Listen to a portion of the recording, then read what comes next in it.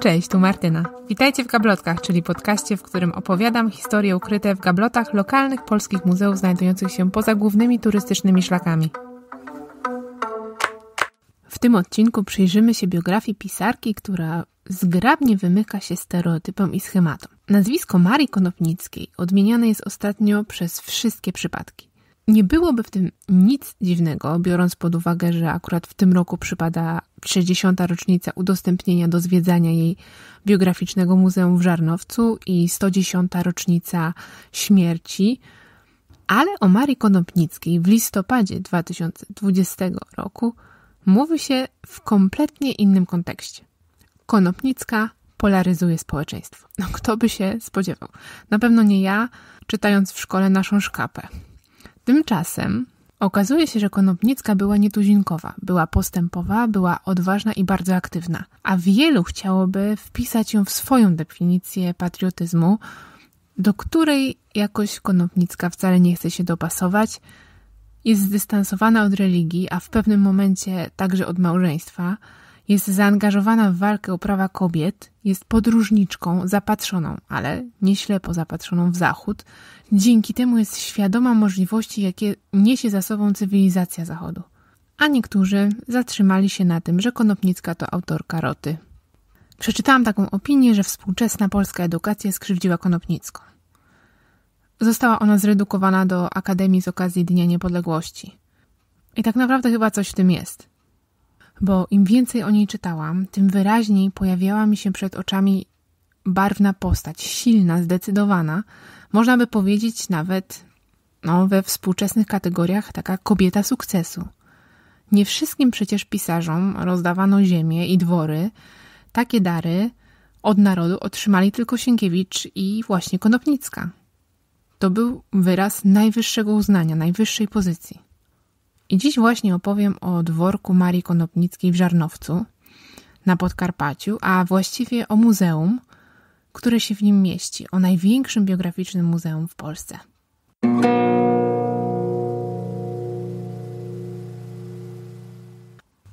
Ale zanim dworek, to najpierw lamus, czyli taki budynek, e, który wybudowany został na fundamentach dawnego spichlerza i otwarty został na początku lat 90 przeznaczony do celów administracyjnych i ekspozycyjnych. I tu, w przestronnej sali, w gablotach, odnajdujemy odpowiedź na pytanie, jaką naprawdę pisarką była Konopnicka. Dyrektor muzeum zgrabnie nazywa jej twórczość pisarstwem wielokierunkowym. W sumie jest to bardzo trafne. Ja się autentycznie zdziwiłam, że ona tyle pisała i nie chodzi o ilość, czy nie chodzi o częstotliwość, a o liczbę form. No bo tak, są nowele, o nich już była mowa, oczywiście nasza szkapa, Mendel Gdański, poezja, w tym poezja dla dzieci, baśń pierwsza, taka bardzo polska i chyba jedna z najbardziej znanych o krasnoludkach i o sierotce Marysi. Początek tej baśni znały kiedyś, przynajmniej kiedy ja byłam mała, wszystkie dzieci. Nie wiem, czy teraz tak jest. Sprawdźcie, czy wy pamiętacie. To było tak. Czy to bajka, czy nie bajka, myślcie sobie, jak tam chcecie. A ja przecież wam powiadam. Krasnoludki są na świecie. Więc oprócz tego, co jeszcze pisała? E, mamy krytykę literacką, publicystykę, mamy pracę redakcyjną, która była zresztą silnie krytykowana, bo jak na swoje czasy była zbyt postępowa tak było na przykład w przypadku jej pracy redakcyjnej w czasopiśmie Świt. Pisano o Konopnickiej w kontekście jej pracy tam, że jest to umysł umiejący sobie radzić we wszystkich podejmowanych zadaniach, z wyłączeniem redaktorstwa, które jej się nie udało. Najgorszy możliwy komentarz, bo niby jest to pochwała, ale potem pojawia się ale. I ta druga część e, zawsze sprawia, że to co przed ale jest już właściwie nieważny i nikt go nie pamięta. Konopnicka pisała także sztuki teatralne, to mnie akurat zaskoczyło. Z utworami dramatycznymi też był właściwie problem. Tym razem odezwały się środowiska narodowo-katolickie, a konkretnie odezwały się po publikacji fragmentów dramatycznych z przeszłości, na początku lat 80. XIX wieku, w których Konopnicka opisuje prześladowanych przez Kościół wybitnych uczonych. No i to było, jak się okazało, za dużo. Przegląd katolicki napisał, że jest to myśl bezbożna i bluźniercza.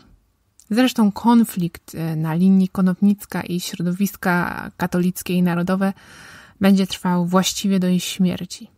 Konopnicka poza tym była także tłumaczką i na tym akurat nieźle zarabiała. Podobno posługiwała się wieloma językami, na pewno e, łaciną, greką, musiała też umieć e, pewnie rosyjski, bo takie były czasy, angielski, niemiecki, francuski, włoski, ze względu na liczne podróże, no i podobno także czeski. Najwięcej tłumaczyła z niemieckiego. Jak widzicie, jest tego wszystkiego naprawdę dużo. I wydaje mi się, że chyba po prostu Konopnicka lubiła pisać. Odnajdywała się e, w każdej formie. I muszę przyznać, że jest to wszystko dosyć onieśmielające. I właśnie tacy onieśmieleni jej pisarstwem wychodzimy z lamusa i wchodzimy przez prosty drewniany ganek do jej domu. Domu, który nie był jej domem od zawsze, nie jest to też jej dom rodzinny, i też nie taki, w którym wychowała swoje dzieci, ale jednak jest to taki prawdziwy dom.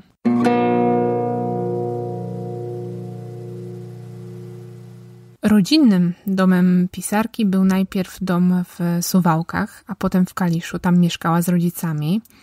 O Kaliszu Konopnicka wielokrotnie, zarówno w listach, jak i w swojej twórczości, mm, wspominała. I gdybym miała wybrać jedno miejsce, z którym związane są jej najsilniejsze wspomnienia z dzieciństwa, to byłby to chyba właśnie Kalisz. Po tym, jak wyszła za mąż za 12 lat starszego Jarosława Konopnickiego, zamieszkała w jego majątku w Bronowie. Konopniccy mieszkali tu mniej więcej 10 lat. Tutaj urodziły się i wychowały ich dzieci, a konkretnie aż szóstka. Szóstka co prawda z ósemki e, urodzonych przez Konopnicką, bo dwóch chłopców e, zmarło. Marii jednak nie podobało się takie życie. Czuła się ograniczona i przez to w ogóle sfrustrowana całkiem. Pojawiły się problemy finansowe do tego i rodzina musiała się przeprowadzić. Mniej więcej w tym czasie e, Maria zaczęła pisać i to pisać tak na poważnie.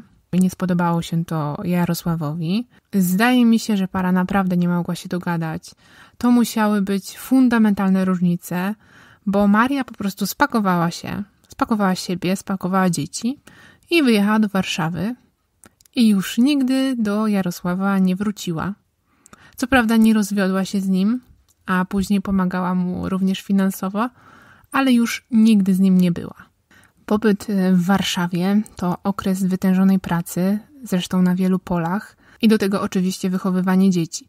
Do tego wychowywania dzieci Konopnicka miała, powiedziałabym, takie praktyczne podejście, tak bym to ujęła, Wymagała, żeby dzieci bardzo szybko się usamodzielniły i kiedy to się stało, po prostu wyjechała z Warszawy i zajęła się własnym życiem. Pracą, podróżami. Do dzieci pisała listy, czasem je odwiedzała, pomagała im finansowo, jeśli była taka potrzeba i jeśli ona była w stanie, i żyła po prostu swoim życiem. Myślę sobie, że ten dworek w Żarnowcu, który dostała w darze od narodu, to mogło być tak naprawdę pierwsze miejsce, w którym czuła się swobodnie i żyła tak, jak chciała, że mogło to być dla niej zrealizowanie idei domu, swojego miejsca. I o tym też, zdaje się, pisała do Orzeszkowej, że chciałaby mieć takie miejsce. I to Orzeszkowa właśnie zaangażowała się w organizację przedsięwzięcia ufundowania dla Konopnickiej tego pięknego kawałka ziemi.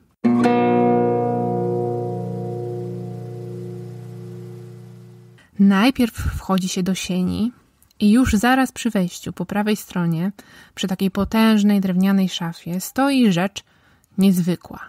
Przede wszystkim dlatego, że ona bardzo porusza wyobraźnię. Jest to oryginalny kufer podróżniczy Konopnickiej. I to nie taki byle jaki kufer. Porządny, bardzo elegancki, zamykany na trzy klamry i do tego firmowy.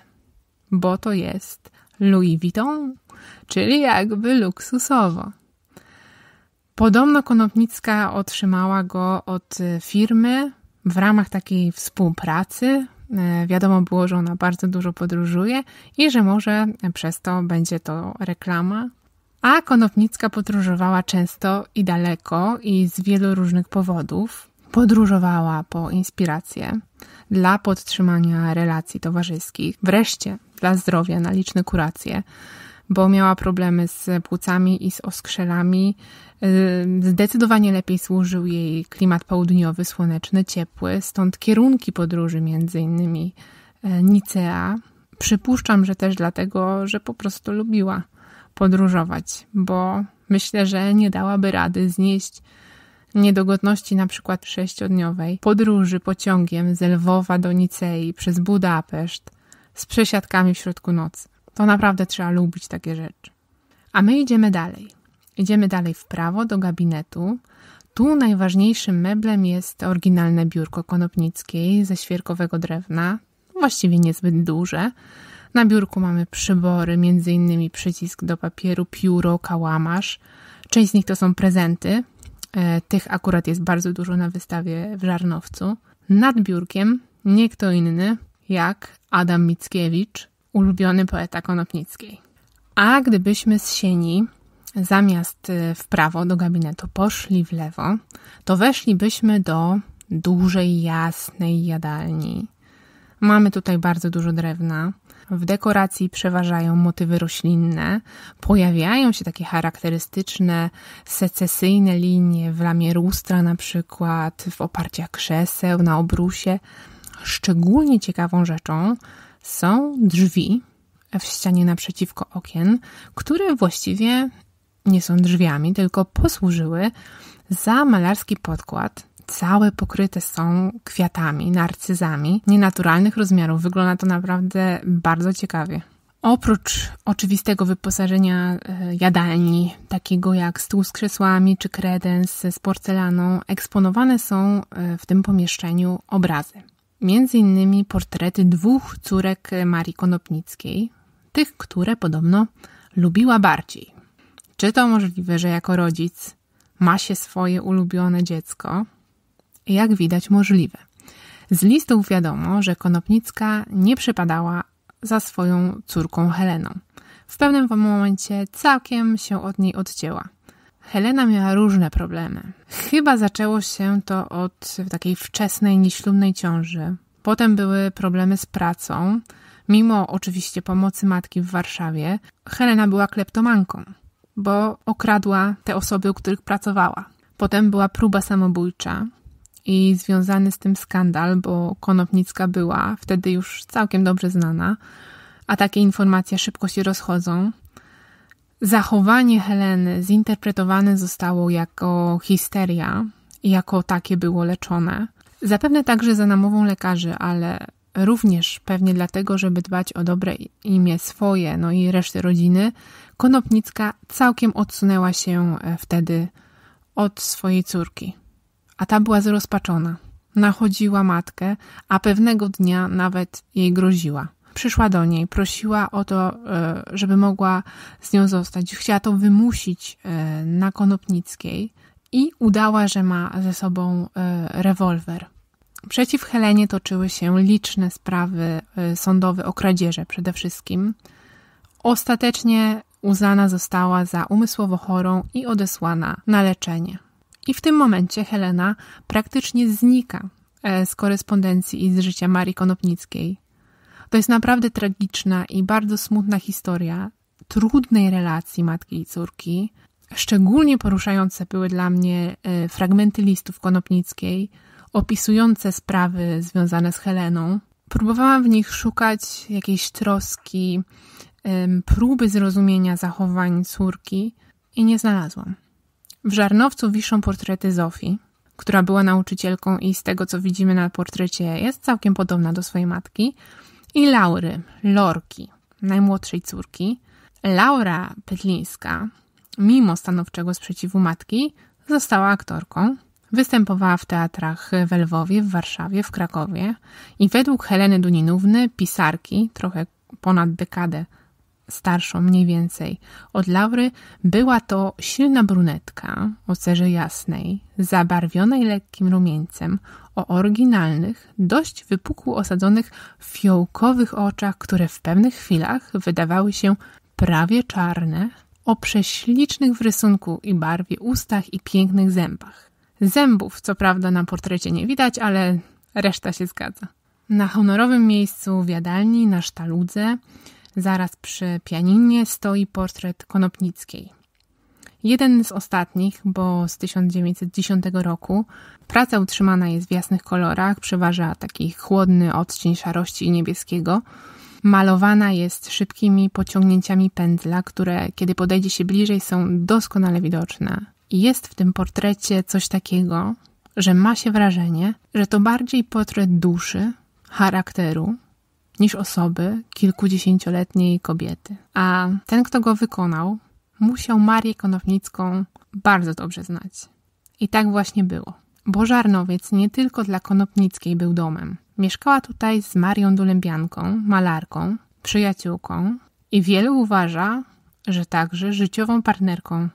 Ale o tym, o tym opowiem w następnym odcinku. A następny odcinek to będzie pierwszy odcinek z cyklu Eksponaty.